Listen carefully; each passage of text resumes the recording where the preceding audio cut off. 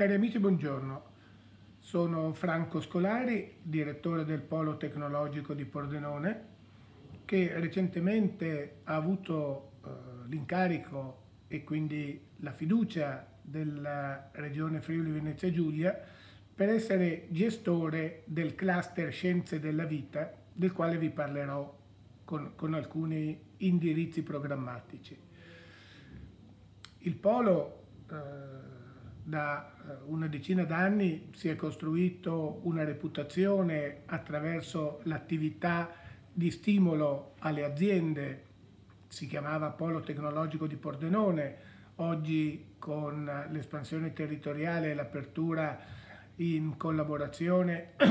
con eh, altri partner in raggruppamento temporaneo di impresa, eh, Bio for Dreams, RB Gates e BioValley, è anche il gestore dell'Urban Center a Trieste, quindi una finestra sul mare, eh, il polo cambia nome, mantiene le radici, ma si chiama Polo Tecnologico Alto Adriatico. L'idea eh, accettata e promossa dal nostro azionista di riferimento, la Regione, allargato poi a un azionariato privato di essere vicini alle imprese, trasferendo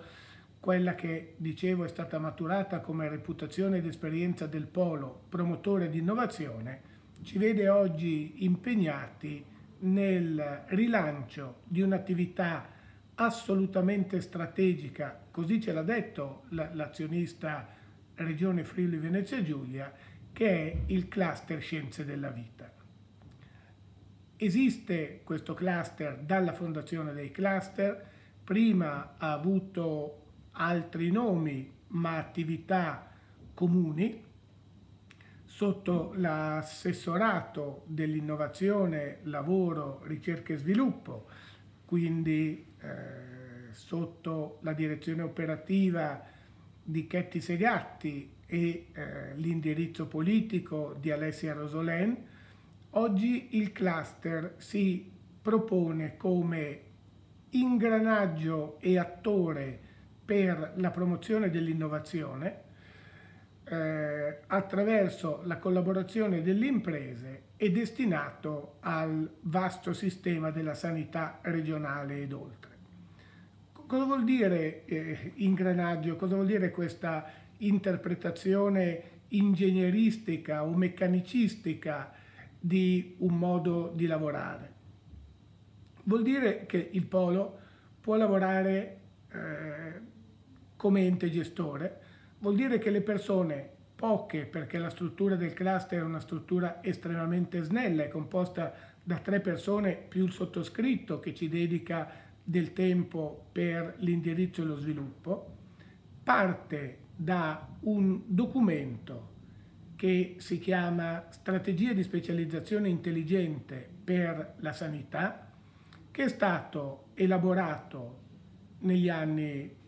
ultimi scorsi, che è stato discusso, che è stato aggiornato, che è stato interpretato dall'ente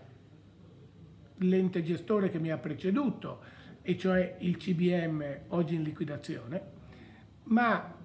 eh, mentre mentre i primi passi erano stati positivamente indirizzati alla condivisione della strategia di specializzazione intelligente, oggi il rilancio del cluster va verso l'attuazione di un piano d'azione, potremmo chiamarlo anche piano strategico, quando anche vogliamo tenerlo a tempi brevi, comunque nell'ambito delle traiettorie indicate nella specializzazione intelligente, ma con un attivo coinvolgimento di imprese che promuovono innovazione tangibile verso il grande ecosistema degli ospedali, delle, eh, dei centri di ricerca eh, della sanità e ne abbiamo di numerosi in regione, eh, dei cittadini tutti, perché sanità è eh, prevenzione della malattia e cura della malattia quando qualche grana e tra queste anche eh, l'invecchiamento che noi vogliamo far diventare invecchiamento attivo, ci costringe a eh, vivere in un modo diverso. Veniamo dunque agli obiettivi tangibili che eh, lascerò in questo messaggio registrato e, e quindi a distanza di mesi perché eh, il periodo in cui viviamo non ci permette di indicare eh, obiettivi sull'arco dei lustri. Eh, gli obiettivi a cinque anni sono indirizzi di tipo strategico. Eh, l'esperienza che abbiamo maturato per lavorare con le imprese eh, vuole prodotti rilasciati, prodotti, servizi, eh, risultati misurabili, coerenti con uh, le performance indicator uh, in apertura, ma uh, tangibili nei semestri, perché ciò che vuole fare il cluster di rilocare best practice, di agevolare eh, attuazioni di tecnologie disponibili verso la fruibilità, sono obiettivi raggiungibili e misurabili nei semestri. Raggiungibili e misurabili purché i diversi attori, quelli del cluster, ma quelli del polo tecnologico in senso più vasto, ma eh, system integrator, start-up, nuove imprese, portatori di interesse, centri di ricerca, tutti devono lavorare insieme affinché l'innovazione diventi un habitus costante. Non possiamo innovare solamente quando ci sono i bandi, non possiamo innovare solamente quando ci sono finanziamenti.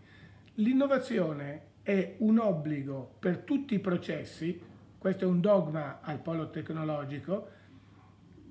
per tutti i processi perché chi non innova rimane drammaticamente indietro. E eh, a me che è dato il compito di coordinare il cluster eh, Scienze della Vita, non sta proprio bene rimanere indietro con un servizio essenziale che è la qualità della vita, la qualità della sanità, collegata alla quale, dice il presidente Michelangelo Agrusti, c'è l'economia e lo sviluppo. Usciamo, io dico, o siamo usciti da un periodo eh, sorprendentemente drammatico, la pandemia, rinforzati in attesa di un nuovo modello di, eh, di vita, di vita più attenta, più attenta alla transizione ecologica, più attenta alla qualità della vita sana e vita attiva che alla lunghezza della vita, più attenta all'inclusione sociale. Sto citando gli obiettivi dell'S3 che saranno declinati in progetti. Usciamo, dico, da questo periodo drammaticamente oscuro la, la, mia generazione e quindi chi è più giovane di me non ha vissuto direttamente delle guerre, noi abbiamo vissuto qualche cosa di simile, abbiamo vissuto delle costriz costrizioni come, come, il fatto di, di rimanere in lockdown, anche come il fatto obbligatorio del vaccino. È una costrizione, è una limitata interpretazione di perdita di libertà per averne molto migliore e molto più vasta che quella di continuare in un'attività eh, sana senza rischi andando a scuola e magari al lavoro senza mascherine eccetera. Programmi dunque quelli del cluster Scienze della Vita eh, misurabili perché eh, censire le best practice che ci sono nei nostri centri di ricerca, che ci sono nei nostri istituti per l'inclusione, parlo delle RSA, parlo delle, de, delle case di, di riposo, mm, censire chi ha sperimentato con successo teleassistenza, chi ha eh, trovato dei modelli organizzativi o delle tecnologie eh, che sono meno costose, che sono più favorevoli all'inclusione e alla soluzione delle patologie o delle deficienze che, eh, ahimè, eh, ritroviamo tra i cittadini e, e, e tra i pazienti bisognosi di, di assistenza, quindi la scelta delle tecnologie già praticate e la loro portabilità verso altri istituti omogenei, questo sarà un compito che noi vogliamo eh, eseguire in tempi brevi, a costi limitati, affinché l'inclusione, eh, affinché eh, ci sia anche eh, premialità per chi ha sviluppato qualche cosa definito migliore della media, migliore del contesto comune esporti tecnologie, soluzioni, eh, farmaci del caso per una sanità più efficace, più moderna, post-pandemica. Nella nostra regione sappiamo che eh, le, le, competenze dei centri di ricerca sono eh, eccellenti alcune, elevate altre, eh, sfortunatamente con non sempre la ricaduta e la portabilità che potrebbe far fruire tutto un territorio di un ecosistema eh, invidiabile e, e, e quindi copiabile e quindi esportabile. Abbiamo eh, degli obiettivi di internazionalizzazione del nostro sapere ai fini della sanità. Eh, in qualche caso crediamo di poter internazionalizzare imprese o processi che vanno all'estero. In altri casi Internazionalizzazione può anche essere invitare e attrarre aziende, esperienze vicine o lontane. Oggi il mondo è globale, quindi la vicinanza o la lontananza è un aspetto fisico completamente eliminabile e quindi velocemente importare del valore aggiunto per il nostro territorio e per il nostro ecosistema. Eh, tiro le somme di questo discorso. Il cluster delle scienze della vita non è mai morto, ha avuto qualche periodo di minore attività, oggi riparte con una struttura esile ma integrata con le potenti strutture regionali dell'assessorato eh, al lavoro e istruzione e ricerca, con naturalmente il patrimonio delle imprese che magari non sono uh, big pharma ma hanno idee e hanno potenzialità per uh, contribuire a sperimentazioni e quindi crescere velocemente.